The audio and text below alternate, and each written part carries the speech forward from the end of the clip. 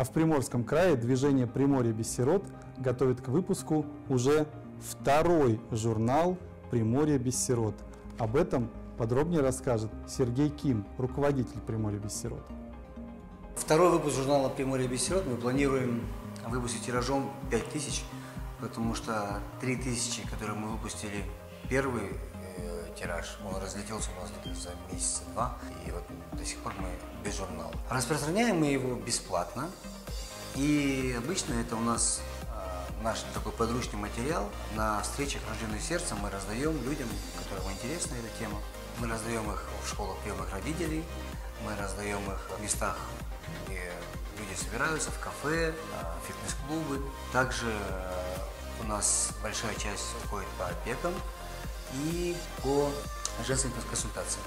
Э, Так стало интересно, что там стали очень востребованы эти журналы, потому что, к сожалению, есть мамы, которые отказываются от своих детей, и читая эти истории, они э, меняют свое решение. В этом журнале, в следующем выпуске, мы планируем сделать, добавить несколько рубрик. Вот были рубрики, где приемные семьи э, рассказывают свои истории.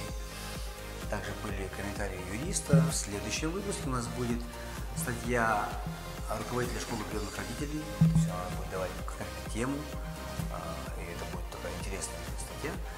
А, И также мы добавили истории выпускников детских домов. То есть ребята, которые закончили, выпустились, и вот они рассказывают свои истории. Так же, как мы мотивируем всех, чтобы они не стеснялись рассказывать свои истории, они напишут, говорят, ну, мы тоже хотим рассказать свою историю. Выпускники нам подошли на последней встрече «Рожденное сердцем». Подошел один человек и сказал, я хочу ну, тоже рассказать свою историю. Мы сняли с ним э, фо- фотосессию, ролик, и вот сейчас э, на- написана статья, сейчас вот мы в.